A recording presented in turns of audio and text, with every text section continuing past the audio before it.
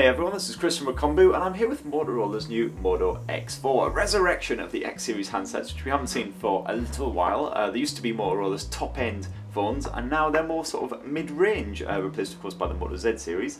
The Moto X4 costs 349 quid here in the UK. We're going to do a full unboxing, setup and sort of have a bit of whiz around the interface. So I've actually done a full hands-on review already, but it's always good to have a proper play with the handset in more quieter, serene surroundings and all the rest of it. So um, there's the handset. We're going to check that out in a minute. Uh, just going to have a quick whiz around the rest of the box first and see what else you can expect. So of course lots of literature, uh, porky pin device to actually get the SIM out, hooray! Uh, safety, regulatory and legal information, exciting bedtime reading there, and a bit of readme action. Uh, I feel like I'm in Alice in Wonderland. Uh, at a glance, just shows you exactly what's on the handset, how to shove in a SIM card, uh, charge it up, and then a little bit about the interface. So it actually goes into quite a lot of detail there, which is always nice if you've uh, you haven't used a Moto phone before. Luckily, they're really really easy to get the grips with, thanks to a nice vanilla Android interface. And of course, exciting times, you get a three-pin plug and a USB cable in order to actually power it up and use the damn thing. Uh, it's Type-C USB, as you can see there. So brilliant, everything you get is in the box. It is of course turbo power compatible as well, as we'll touch on later, uh, so you'll need to use the, uh, the bundled plug in order to take advantage of that.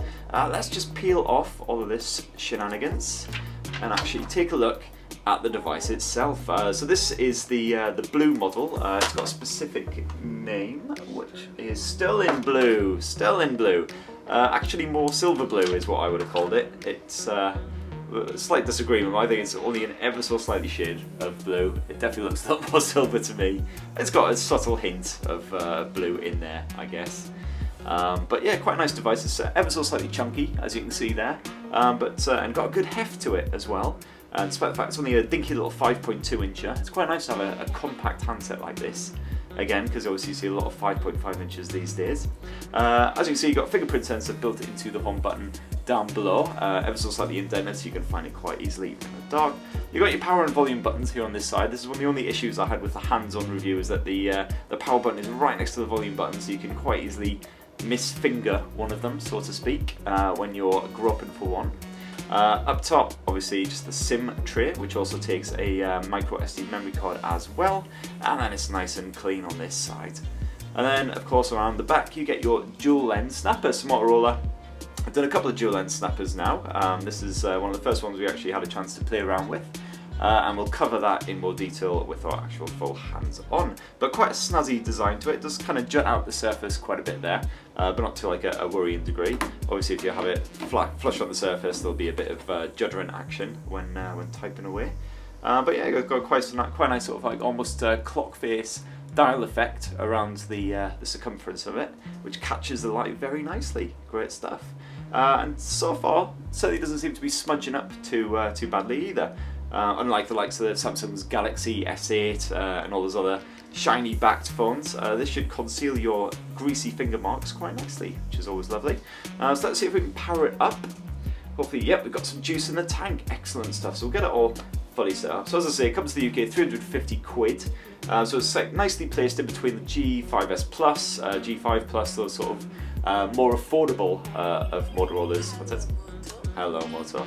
Uh, and of course the uh, the top end Moto Z series, uh, which of course features the Moto mods, uh, which you can slap on to expand the, the battery, uh, add on all kinds of bonus stuff like a new projector uh, feature, all that kind of stuff. Um, so this kind of sits neatly in the middle of those two. If you quite like an idea of a more premium Motorola phone, but you can't spend an, enough cash to get the Moto Z series, and you're not really that bothered about the the Moto mods, then this is probably a good shout for you. Uh, welcome to your Moto X4. So it's set up as a fresh phone. And it's also fully water resistant as well, which is great um, because uh, we don't tend to see water resistant handsets at this sort of price point. Right, so just connected to the internet, uh, accept all the usual shenanigans, privacy warnings, etc, etc. Uh, let's see if there's any updates, hopefully shouldn't be because it is of course a brand new fresh handset. So with the Google account, I'll just skip that for now, uh, I can do all that later. Uh, name, yeah, I don't really care about any of that. So unlock with fingerprint. So of course you've got the, uh, the built-in fingerprint sensor there beneath the screen. Uh, nice and easy to go up to uh, when you pick up your handset. And you can get up to five fingerprints registered at one time. So yeah, we know what the sensor is, and let's just try setting up our fingerprint. Hopefully it should be a nice swift action. I didn't get a chance to test this out in our hands-on session at IFA. Uh, but yeah, there we go, that's that done. And of course that locks your phone, and what you can also do is there's a new feature called Moto Key built into the Motorola Assistant, which actually uses the fingerprint uh, as a replacement for a password for your apps and your uh, your website accounts as well, which is really really cool. Um, so that just helps save you a bit of time, just agreeing to all of the usual stuff. Oh, I, don't, I, don't, care, just just let me skip through this. Thank you. Uh, I don't want recommendations for new apps, thank you, because you want me to install all sorts of crap. As usual, this is a new thing for Motorola. They've just started doing this recently on the handsets. Now I don't want Norton. I didn't even know Norton was still a thing. Final Fantasy 15? Nah, I'm, I'm good, thanks, mate. That's all right. I will have a bit of Spotify though, that's always handy. Uh, right, install. Okay. Uh, so basically you can pick and choose what you want from a, a, large selection of crap and then you can of course add your work account. I'll skip this for now, I'll get all that set up later because we just want to have a dive around that lovely clean vanilla nougat interface. So here we go. Uh, if you've used a Motorola phone in recent times you'll know exactly what to expect here. It is basically pretty vanilla version of Android with a couple of bonus features thrown in. Uh, so as you can see, just swipe up for your apps, swipe down for your notifications, dive into the settings, you got your usual stuff there uh, with a couple of little bonus bits as well. So in terms of the storage, you get 32 gigs built in there. As you can see, quite a lot of it already used up, almost half of it in fact. Um, so just as well then that you can slip a micro SD memory card into the top and expand it by further two terabytes, that's loads of space uh, which is uh, great if you want to carry around a large media collection, get lots of Spotify downloads, Netflix, whatever else you use. You can of course fully customize uh, the interface, move all your apps around and all the rest of it. And if you dive in here, as you can see, it's generally uh, your standard Google app stuff in there. Uh, very little new additions uh, apart from the Moto Assistant, uh, which is actually a genuinely useful add-on uh, adds a few extra bonus little sort of gesture shortcuts and all the rest of it. So this is Moto Key, which I was telling you about before. You can use your uh, fingerprint sensor to replace passwords on the likes of uh, apps and websites. Of course, you've got lots of gesture support, so you can once again do the old double wrist twist to load up the camera, as so. There we go. Took a little while that time, that's probably because the first time we've actually launched it. Usually it does it in about a second or so. And uh, yeah, we'll go through all the camera stuff in a second. Let's jump back into the Moto Assistant. Uh, Moto Display just has the likes of a night light feature and you can uh, see your notifications if you raise the phone as well, which is definitely handy. And Moto Voice is basically a voice activated uh, assistant type thing. Although the exciting thing about this as well is that it comes with Alexa built in. So uh, if you use Alexa, uh, if you've got an Echo Dot speaker or anything like that, or you've got another device that supports Alexa, this also has Alexa built in, so you can control your smart home goodies right there on the smartphone, uh, access web information, do whatever you want to do basically.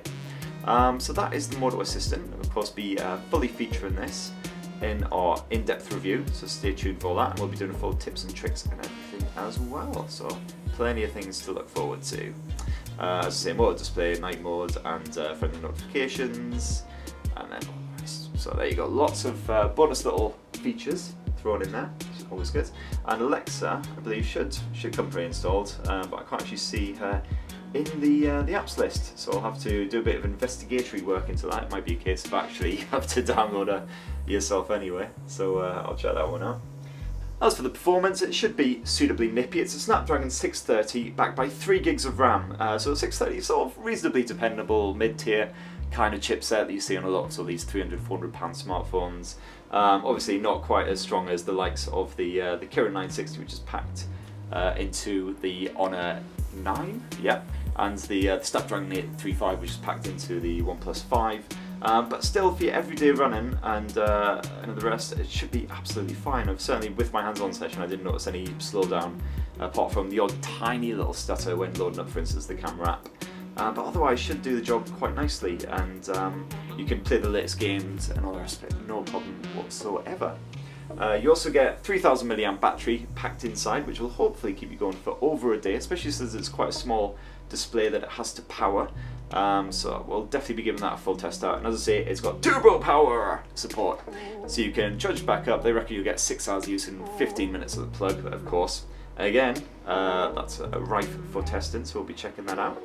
Uh, as for the display itself as well, as I said before, it's 5.2 inch, it's an IPS display, um, but it should be reasonably punchy, uh, as Motorola tends to do pretty good displays on its handsets, uh, certainly for the price, they are, uh, they are definitely decent quality. It's a full HD resolution as well, 1920 by 1080, so as you can see there, um, you'll be struggling to notice any individual pixels or anything like that. Your full HD movies should look the biz.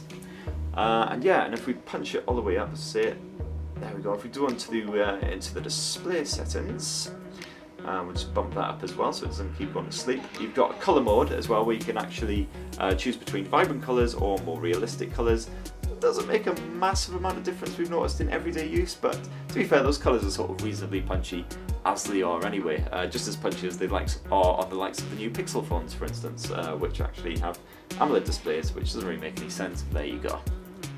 As I said before, around the back you do of course get a dual lens camera. It's a 12 megapixel f2.0 aperture standard lens and an f2.2 aperture 8 megapixel wide angle lens.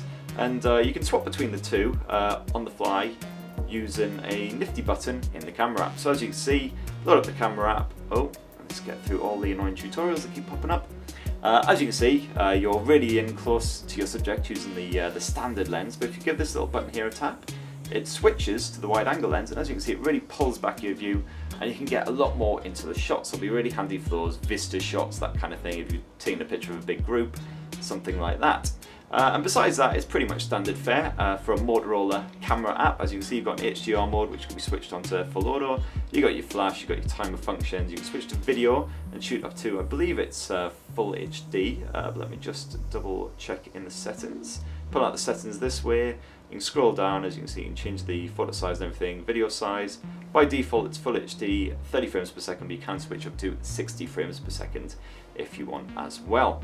Uh, and then it's very basic apart from that. Uh, and of course, you've got a, a, couple of little bonus camera modes you can uh, use as well.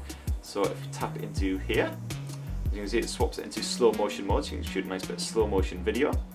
And otherwise, oh, it's a nice bit of face filter action. I haven't actually used this, so I've got no idea what it is. Oh, there we go. It looks like a similar sort of thing to, uh, to what you get on the likes of the Samsung handsets. You can uh, change yourself into a cat, a mouse, uh, you stick things in your... I'm not really sure what half of this stuff is, to be honest. I'm sure it's all highly entertaining. Um, and yeah, and then just switch back to uh, photo mode like so. Uh, and of course you can swap also to the front facing 16 megapixel camera, f2.0, and it's actually got an LED flash right there on the front as well, so you can take those sexy club selfies, don't have to worry about finding a good light source or anything like that, so all handy. Uh, so that, in a nutshell, is the uh, the new Moto X4. Um, let's just test out the fingerprint sensor super quick as well to see how nippy that is since we've got it all set up. So yeah, seems reasonably responsive, and uh, you're not hanging around too long. Bit of a pause, but nothing too bad whatsoever. So there you go, so that is the Moto X4, as I say, come to the UK for 350 quid. So this seems like a nice design, some decent specs for the price. Bit of a step up from the Moto G5S. You've got the uh, the likes of the water resistance, which uh, those G series phones don't have. So if that's a, a, major sort of seller for you, a major selling point, then uh, then this is a good one to go for. Uh, so as I say, full review and everything coming soon. I'll be testing out that camera. Any questions, comments, theories on life and all the rest of it, throw it down below. And thanks for watching everyone. Cheers. Bye.